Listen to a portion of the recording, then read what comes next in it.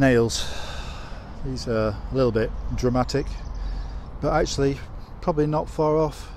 The uh, Romans used about five to seven inch nails to execute people. They were had a sharp end and tapered, so they could be hammered into the cross. We are spared the details of crucifixion in the Gospels. The Gospels just write, and they crucified him mainly because their readers of that time knew all about crucifixion. They knew what it was about. It was not invented by the Romans, but the Romans really maximised it for torture and for suffering and a deterrent. Uh, they would reserve it for the insurrectionists, for the rebels, and they would crucify people in public so that it was a deterrent to others to uh, rise up against imperial Rome. It was a humiliating way of death prisoners were stripped naked and hung upon a cross. Any dignity that they had was already gone.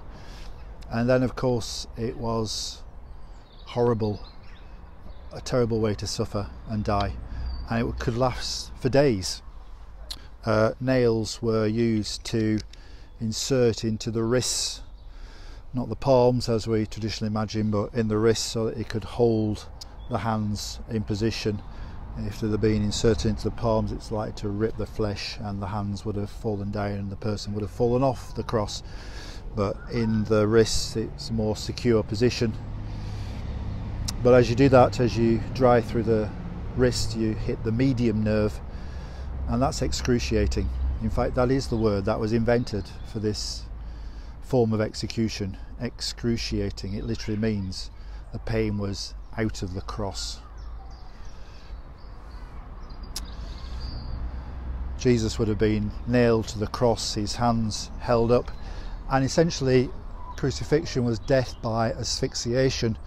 Because with your hands up there your muscles and your diaphragm was in tension and it was as though you were inhaling all the time and you had to push yourself up in order to exhale and you had to keep doing that and often people would die of exhaustion from doing that and then die of asphyxiation uh, if the Romans were into a little bit of torture, they could allow you to do that almost for days on end. Sometimes, if they got impatient, they would break your legs so that you couldn't push up and then you would die quicker. There's been excess deaths during this coronavirus. Many terrible deaths happen every day. People suffer extreme pain over all the world. The common cry is why? If there's a God of love, why? It's the same cry Jesus suffered and uttered from the cross My God, my God, why have you forsaken me? It's the only prayer Jesus says when he addresses God not with the intimate title of Abba, Father.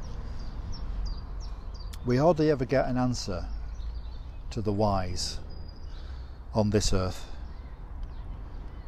But we have a Saviour who suffered and died our suffering and our death. Today we reflect on why this day of such horrible violence can be called a Good Friday. Let us pray. Lord Jesus, on the cross, out of the worst of suffering and death. Grant us trust that you can bring good. Amen.